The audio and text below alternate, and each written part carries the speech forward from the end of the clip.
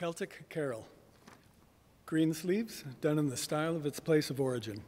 This piece is also known as What Child Is This? So I'm sure you'll all recognize it. We hope that you're as caught up as we are in the momentum and intensity. A flute begins with a haunting melody, followed by the driving woodwind and percussion parts. The euphoniums eventually sing the melody, marked by accented trumpet and brass instruments.